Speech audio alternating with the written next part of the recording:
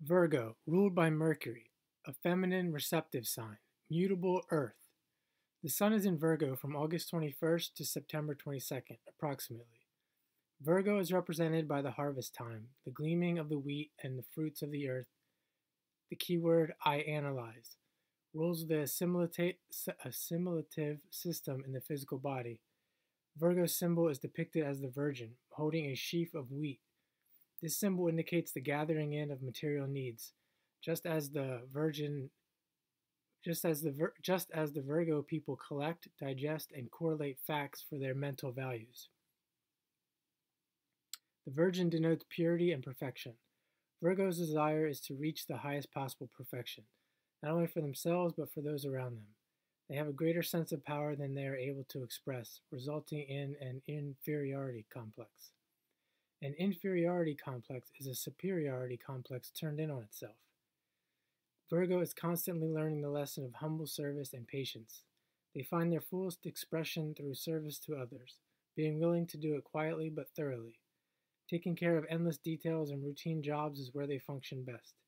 There is a cautiousness and oft times a selfishness in Virgo that is often unrecognized by the person born in this sign. It is difficult for the person to communicate and articulate where their inner thoughts and feelings are concerned.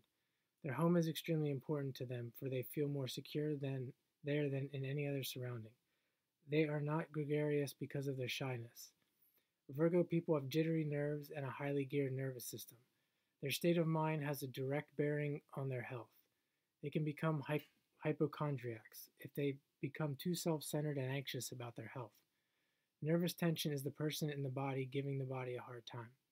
The Virgo individual's greatest fault is being too critical. Their analyzed mind can cause them to degenerate into fault finding, criticism, and irritability. Virgo's real satisfaction lies in the realm of work and service. They are one of the best workers in the zodiac.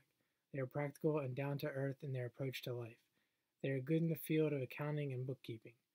Virgo women make excellent nurses, and there is a strong purity and fastidiousness in them. They dislike anything crude or coarse. There is a sweetness and a lack of aggressiveness in this sign that gives a great attractiveness to those born in this sign. Virgo people make few enemies and have many friends due to their quiet, gentle manner.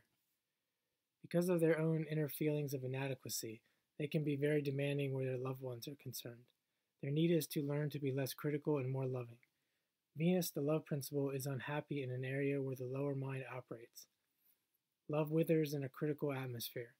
We relate to others through the heart, never through the head. We recognize this fact subconsciously when we use the term never mind. In the universal scheme of things, Virgo stands for the womb of time, wherein God's plan is being worked out through pain, struggle, and conflict. These are the things that set the consciousness free from being earthbound. Virgo represents the sign of the hidden Christ in every man the seed planted in earth that must root in the darkness and through struggle break its sheath and struggle towards the light.